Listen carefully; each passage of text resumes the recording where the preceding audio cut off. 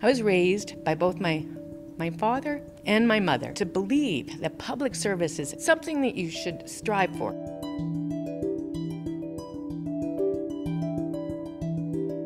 Our new leader with 70% of the vote is Rachel Notley. Let's not forget history.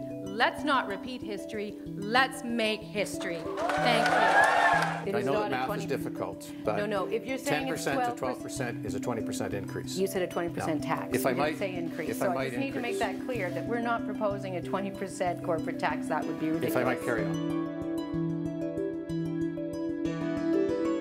Well, take a look at this. Not just an NDP government in Alberta, but a strong majority. Friends, I believe that change has finally come to Alberta. Next year, we're projecting that royalty revenues will drop by almost 90%. This morning, the Federal Court of Appeal ruled against the Trans Mountain Pipeline. Pipe! I have no doubt that we will ultimately get this pipeline built.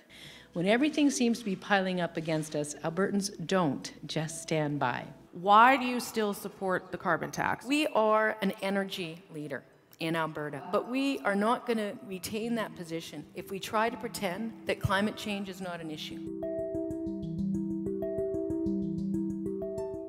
Now, I have just spoken to Premier-elect Jason Kenney, and I, and I have offered him my sincere congratulations.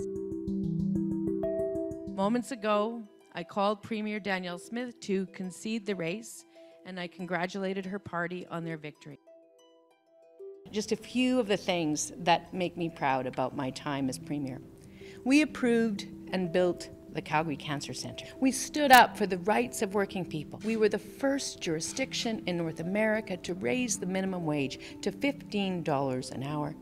We secured Alberta's first pipeline to Tidewater in over 50 years. We eliminated coal fired electricity in Alberta, thereby increasing the health of countless citizens. We cut child poverty in half. We governed with integrity, an ambitious agenda, and an earnest desire to make life better for Albertans.